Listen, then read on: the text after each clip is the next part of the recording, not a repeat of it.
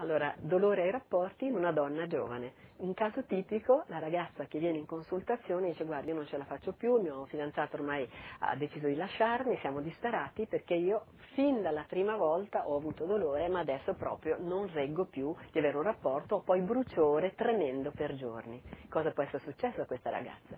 Ascoltiamo nettamente la sua storia. Ci dice oh, avevo dolore fin dalla prima volta. Quando una ragazza ha dolore fin dalla prima volta, vedete per forza tutti hanno male la prima volta, bravi, ma dopo una volta e due se ne va. Se invece il dolore persiste, questo significa che questa ragazza ha un vaginismo. Che cos'è il vaginismo?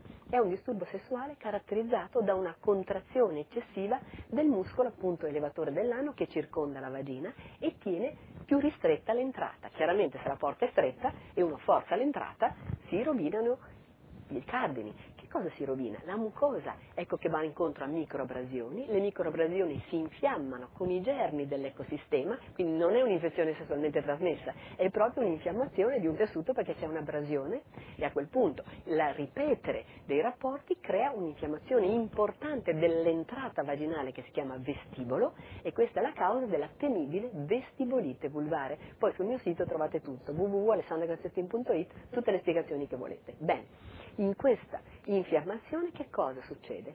Che come in tutte le parti del corpo, quando sono infiammate, si contraggono per proteggere quell'area. Bene, la stessa cosa succede in vagina. Se è infiammata l'entrata vaginale, il muscolo che circonda la vagina si contrae.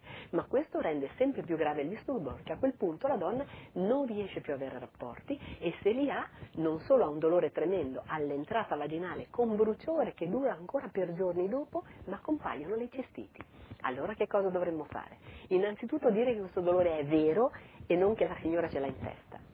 Due, che ha delle cause precise, che sono l'ipertono del muscolo, che quindi andrà rilassato con una fisioterapia appropriata, bastano in genere 10 sedute, a volte anche meno, va sfiammata e spesso che cosa vediamo? Che c'è una candida recidivante. Allora noi tratteremo con antimicotici per bocca, con protocolli molto precisi, perché abbiamo fatto degli studi su questo molto chiari con pubblicazioni anche scientifiche relative, andremo a modulare lo stato infiammatorio e vi dico anche una cosa importante, che noi utilizziamo alcuni psicofarmaci, cioè non sono mica matta, perché mi dà psicofarmaco? Attenzione, innanzitutto dosaggi bassissimi e usiamo per esempio la mitriptilina che è un un antidepressivo vecchissimo che ha un'azione antinfiammatoria specifica e un altro farmaco che serve a rilassare il muscolo. Quindi dosi basse, non perché c'è un problema psichiatrico, ma perché questi farmaci sono ottimi antinfiammatori, ci aiutano a sfiammare. Poi ci sono altre sostanze che non sto a dettagliare, il risultato qual è?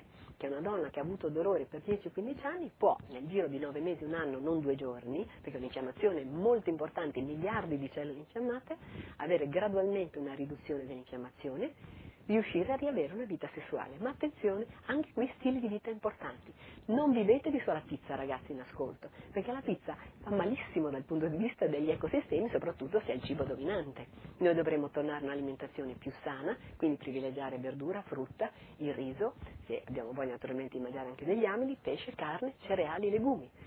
Ridurre, o per il periodo di cura abolire tutti i lieviti e gli zuccheri semplici, si può il fruttosio, perché è uno zucchero naturale che non richiede l'insulina per entrare nelle cellule. Ma in breve, con stili di vita appropriati, terapia appropriata, si può tornare a fare l'amore di gusto e soprattutto a scoprire che essere donna è bello, non che avere dolore è normale, non è affatto normale, è un sintomo che va curato fino ad essere eliminato dalla vita e dall'intimità.